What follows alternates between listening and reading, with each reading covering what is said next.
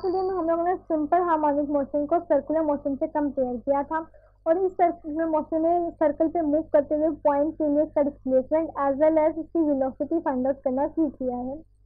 अगर मैं ये कहूँ कि वो हमारा पॉइंट सी था, जो एट सम एंगल जो है मूव कर रहा है ना सर्कुलर पाथ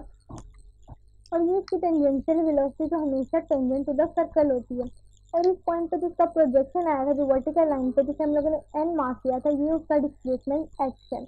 अब देखा जाए तो हम लोगों ने कहा था कि जो सर्कुलर मोशन है सर्कल में मूव करते हुए पॉइंट की जो प्रोजेक्शन की मोशन है, ये इसका पॉइंट और इसका एक्सेलरेशन अगर इसकी कोई ना कोई टेंजेंशियल वेलोसिटी है तो उसका कोई ना कोई एक्सेलरेशन ए भी होगा, जिसे हम लोग ए पी कहते थे, जिसके साथ सर्कुलर पार्ट पे रोटेट कर रहा है। और सिंपल हार्मोनिक मोशन के लिए मस्ट है कि उसका एक्सेलरेशन जो सिंपल हार्मोनिक मोशन है, उसकी कंडीशन है कि उसका एक्सेलरेशन हमेशा उसके डिस्प्लेसमेंट के डायरेक्टली प्रपोर्शन होता है। और हमेशा नेगेटिव साइन इंडिकेट ये करता है कि वो डायरेक्टली टूवर्ड द सेंटर है। यानी कि जब हम प्रोजेक्शन के एक्सेलरेशन की बात कर रहे हैं तो भी हमेशा वो सेंटर की तरफ़ डायरेक्टेड होना चाहिए। और पॉइंट पी के एक्सेलरेशन की बात की जाए तो वो भी हमेशा डायरेक्टेड टूवर्ड द सेंटर ही आएगा, इस पॉइंट ओ पर। अगर इसे मज़बूत सिंप्लीफाई करके बनाया जाए तो इस तरीके की सिचुएशन आती है कि हमारा पॉइंट पी ये प्रोजेक्शन का पॉइंट एन और ये वो मेन पॉइंट ओ जहाँ से हमारा पॉइंट सी मूव करना स्टार्ट करते हैं, यानी कि ओरिजिन ये एक्स डिस्प्लेसमेंट डिस्प्लेसमेंट का इंडिकेट करता है और जो एक्स नो जिसे हम लोगों ने रेडियस माना था। अब देखा जाए तो हमने कहा था कि पॉइंट पी का जो एक्सेलरेशन है, वो भी डायरेक्टली टुवर्ड्स द सेंटर है और ये भी डायरेक्टली टुवर्ड्स द सेंटर है प्रोजेक्शन का एक्सेलरेशन इसकी दो सिचुएशन हो सकती है। तो ये कि हम लोग ये एक ट्राइंगल है और यहाँ पर जो एंगल थीटा फॉर्म हो रहा था सिमिलरली वही एंगल थीटा यहाँ पर भी बन रहा है। और इस चीज़ को हम लोग बेस कहते हैं। ये चीज़ हमारी बेस है और ये चीज़ हमारी परपेंडिकुलर है। और इस चीज़ को हम लोग हाइपोटेन्यूस कहते हैं। अब दूसरी चीज़ देखी जाए तो इस चीज़ से हम लोग ये भी कह सकते हैं कि हम लोग ए पी का जो इस पॉइंट पी का एक्सेलरेशन है, उसको सिर्फ़ टू कंपोनेंट में रिजॉल्व कर दें तो ये वाला कंपोनेंट जो है एन और ओ ये वाला हमारे पास ए पी में ए पी साइन थीटा आ जाएगा और ये वाला कंपोनेंट जो है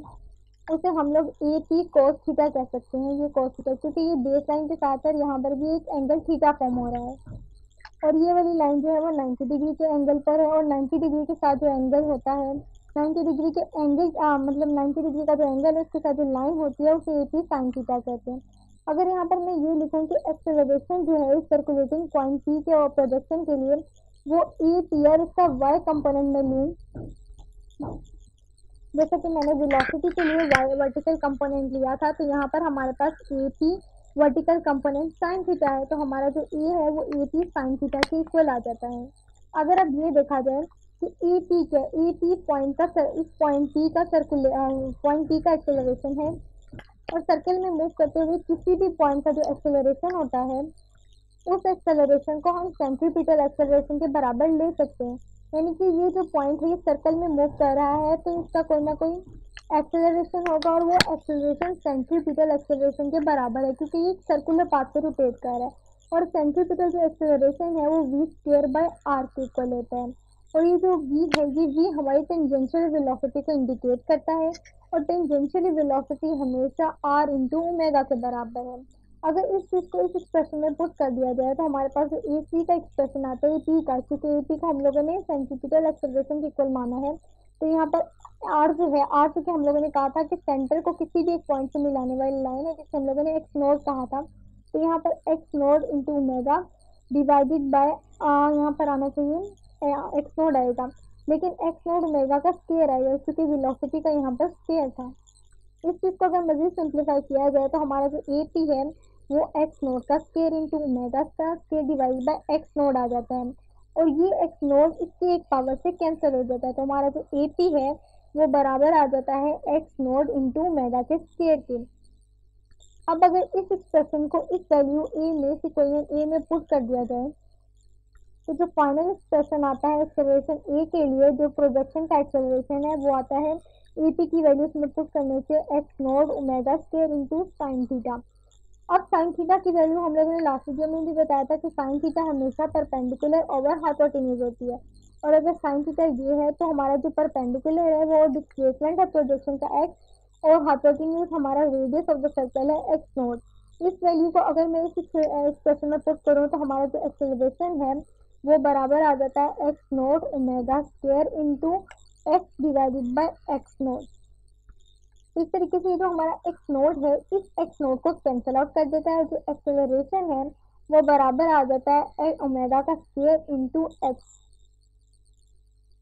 अब अगर आप इस सिचुएशन में इस चीज़ को अगर इंडिकेट कर लेते हैं, अगर इस चीज़ को अगर कॉन्स्टेंट मान ले तो आप ये भी कह सकते हैं कि आपका जो एक्सेलरेशन है वो डायरेक्टली प्रोपोर्शन आ जाता है, फिर से आपके डिस्प्लेसमेंट के। और नेगेटिव साइन आपको इंडिकेट करना पड़ेगा, लगाना पड़ेगा, जो कि इंडिकेट करता है कि आपकी जो प्रोजेक्शन है, उसका जो ऐसे प्रोजेक्शन की डायरेक्शन है एक्सेलरेशन की, वो भी टूवर्ड द सेंटर होती है। जिसकी वजह से ये प्रूव हो जाता है कि हमारा जो एक्सेलरेशन है, वो minus omega square into X के बराबर है, या हमारा एक्सेलरेशन डायरेक्टली प्रोपोर्शन है एक्स से। जैसे कि इस वीडियो में आप देख सकते हैं कि हमारा जो प्रोजेक्शन है ना सर्कुलर पाथ मूवमेंट शो कर रहा है। और इसका जो प्रोजेक्शन है, जो हॉरिजॉन्टल लाइन पर है, या जो वर्टिकल लाइन पर आता है, वो बार बार अपनी मूवमेंट को, अपने मेन पॉइंट के आसपास ही दोहराता है। और इसकी जो एरो की डायरेक्शन है इंडिकेट करती है कि जो एक्सेलरेशन है, वो डायरेक्टेड है हमेशा टूवर्ड द सेंटर और सिंपल हार्मोनिक मोशन में भी आपने देखा होगा कि हमेशा जो एक्सेलरेशन है वो टूवर्ड्स द सेंटर की तरफ़ ही इंडिकेट होता है। जो ये शो करता है कि सर्कल में मूव करते हुए पॉइंट के प्रोजेक्शन की जो मोशन है, वो भी सिंपल हार्मोनिक मोशन से ही काफ़ी हद तक रिलेटेड है, जिसकी वजह से हम लोगों को यहाँ पर माइनस साइन इंडिकेट करना पड़ा है और ये प्रूव करना पड़ा है कि जो एक्सेलरेशन है, वो equal to minus omega square X के इक्वल है। और अगर इस चीज़ को हम लोग कांस्टेंट मान लें तो हमारा जो एक्सेलरेशन है, वो डायरेक्टली प्रोपोर्शन आ जाता है। हमारे डिस्प्लेसमेंट के उस डिस्प्लेसमेंट के जिस प्रोजेक्शन ने कवर किया होता है during the motion of that point in circular path तो इस तरीके से सर्कुलर पाथ पर मूव करते हुए किसी भी पॉइंट के प्रोजेक्शन के लिए जो सिंपल हार्मोनिक मोशन को उबे करे, उसके लिए एक्सेलरेशन का हम लोग जो है फॉर्मूला निकाल सकते हैं एक्सप्रेशन निकाल सकते हैं और बता सकते हैं कि वो एक्सेलरेशन भी डायरेक्टली प्रोपोर्शन है, उसकी डिस्प्लेसमेंट के और उसकी वैल्यू जो है वो मेगा स्क्वेयर एक्स के इक्वल आती है।